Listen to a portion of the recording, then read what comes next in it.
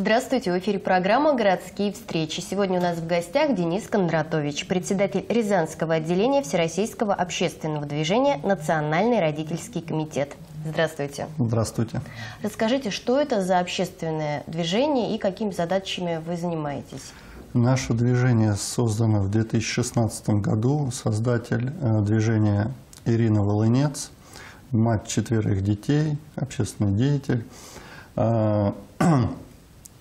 Наша организация занимается э, поддержкой э, материнства детства, семьи э, во всех проявлениях. Это в области ЖКХ. Наше движение занимается обработкой инициатив общества, семьи, и выведение этих инициатив на уровень государственной власти, законодательной власти э, для принятия каких-то решений в помощь семье, матери, ребенку. Вот. Расскажите, с какими проблемами вы работаете? Может быть, приведете конкретные примеры? Проблемы, э, ну, часто обращаются за консультацией, к примеру, большинство людей не знают, какие льготы им э, предусмотрены законодательством. Э, требуется консультация психолога, педагога. Следующий момент, когда происходит при бракоразводных процессах один родитель в тайне от другого забирает ребенка э, на свою территорию и не отдает. То есть здесь мы работаем и с органами опеки, э, инспекторами ПДН,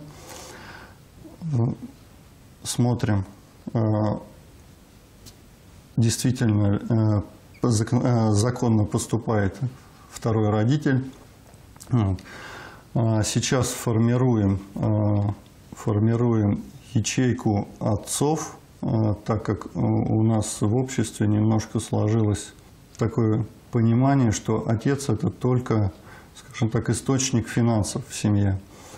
Э, то есть многие матеря высказывают, что с этим что-то нужно делать, многодетные в основном матери, то что авторитет отца был потерян со временем. Мы сейчас пытаемся это возрождать. А, будем формировать, пытаться совместно с а, Министерством образования Рязанской области а, и в других как бы, областях создавать советы отцов, при школах, э, чтобы эти отцы участвовали и в попечительских советах, и в советах по э, разбору э, каких-то проступков школьников, потому что все-таки мужчина это, он сказал, его послушали. То есть будем возвращать вот этот авторитет отцу. А, что касается запрета гаджетов, давайте проговорим про него. В 2018 году мы выступали с этой инициативой э, и предложили сделать частичный запрет, э, потому что полностью запретить нельзя. Есть дети с ограниченными возможностями, диабетики, которые постоянно родитель должен контролировать этого ребенка. А педагогу зачастую и медработнику образовательного учреждения нет возможности осуществлять постоянный контроль. Детей много. А, выступили с предложением, возможно, часть оплачивает бюджет, часть родительские комитеты при образовательных учреждениях, мест хранения. То есть Пришел ребенок в школу, в класс, отдал телефон. Все, в шкафчик положил. Урок закончился. Если хочет на перемене, да, но больш, э, не большинство, а часть э, родителей как бы во мнении разделилась. Пускай ребенок лучше пообщается э, со сверстниками, а не сидит э, в соцсетях А Вы говорили, что еще занимаетесь вопросами питания в детских садах и школах. Что здесь обсуждаете? Здесь, так как были введены э, определенные санитарные нормы, э, и у многих родителей было, скорее всего, неверное толкование э, этих норм. В нормах говорилось, что ребенок не должен приносить в учебное заведение скоропортящиеся продукты. То есть, э, по факту, он может принести яблоко, грушу, э, какие-то печенья, баранки. То есть сделать перекус.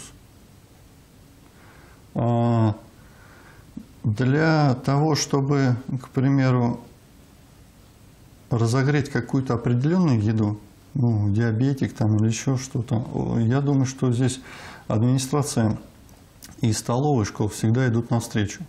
А, Готовить там, в принципе, не нужно, нужно всего лишь разогреть. Вот. Ну, все осуществляется под присмотром.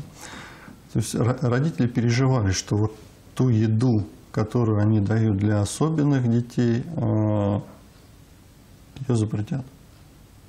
Нет, эта норма не запрещает это делать.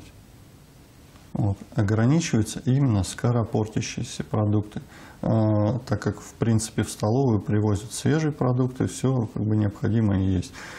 Э, Да, есть вопрос, э, возможно, э, с малоимущими семьями, э, но, насколько я знаю, он сейчас э, всячески решается, прорабатывается.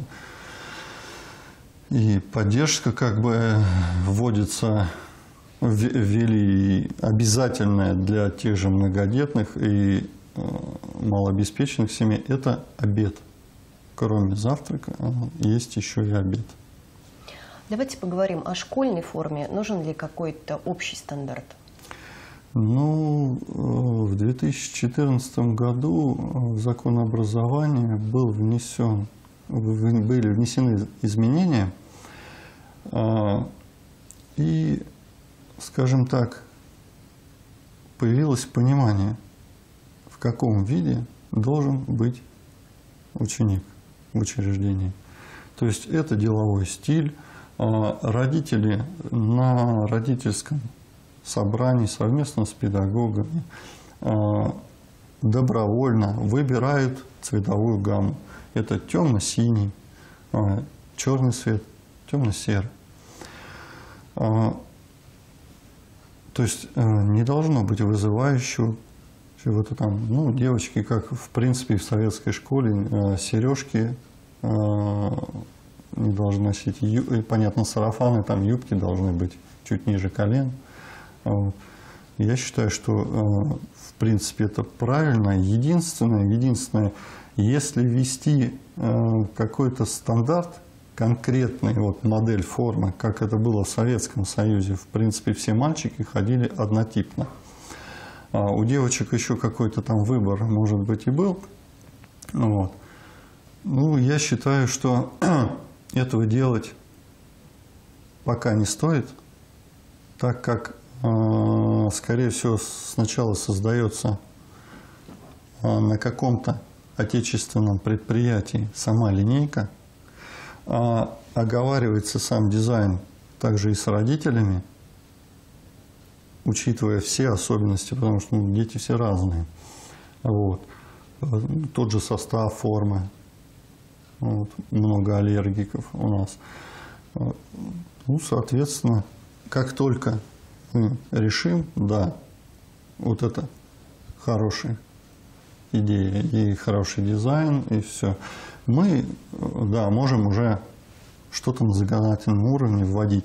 Но при этом для определенных э, семей я считаю, что нужно будет э, вводить э, субсидии, субсидии, чтобы э, те же многодетные семьи. Вы представляете, три ребенка идет в первый класс.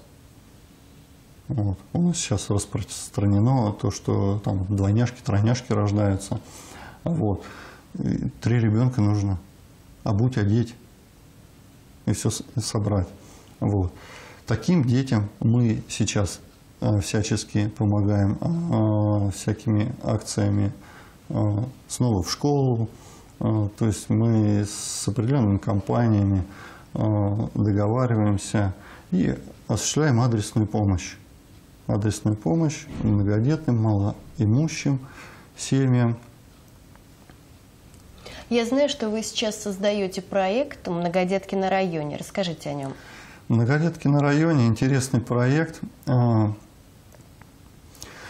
Чем он интересен?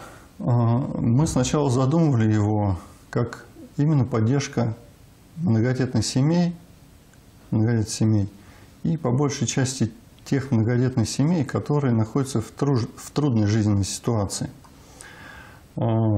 Ну, к примеру, там один родитель уволили его по каким-то объективным обстоятельствам. Там, ну, всякие обстоятельства бывают. Вот. То есть, э, прорабатывая с органами соцзащиты, мы приходим к семье и даем там продукты питания, э, ну, консервы какие-то, бытовую химию, э, детские игрушки, сладости. Но всё на общественных да, началах. все, все это на общественных началах. Никаких э, денег мы не просим и не, бе- не даем. Вот. Да, бывает, что нужно организовать сбор. Это делается официально, обращаемся через какой-то фонд. Вот. Будем обращаться, так как вот пока создаем. Проводите ли вы какие-то праздники и мероприятия? А, Планируем проводить а, всевозможные форумы. А, Сейчас расскажу. Были а, 13 и 14 числа своей семьей, скажем так, увидели в соцсетях, что Московская область в Шатурском административном округе проводит форум всероссийский «Многодетная Россия». Вот. Начали смотреть. Э, Оказалось, что проводят там э, друзья нашей организации. Э, Это Союз общественных организаций многодетных семей по помощи многодетным семьям. Вот. Марина Семенова. Заинтересовались. То есть формат самого форума, форума, когда мы приехали, зарегистрировались, приехали, а, то есть на всех этапах мы были окружены вниманием. Это волонтеров. А, Если что-то а, непонятно, нам сотрудники правоохранительных органов, медработники, а, сотрудники МЧС, лесники оказывали всяческую поддержку. Вот. Семьи селились палатки. Это а, был формат туристического слета взят с элементами развлечений, спорта и дискуссионных площадок, то есть форум. Были приш- приглашены э, спикеры, это были представители Общественной палаты Российской Федерации, Министерства социального развития Российской Федерации, замминистра был, э. Александр Мерзликин – это отцы Подмосковья. Вы хотите тоже такие форумы проводить? Вот. Да, мы хотим э, проводить форумы тоже именно в этих форматах. А, почему? Потому что здесь идет соприкосновение общественников, государственной власти и обычные семьи. То есть это главное. Спасибо. И на этом наша программа подошла к концу. Всего вам самого хорошего. До скорой встречи в эфире.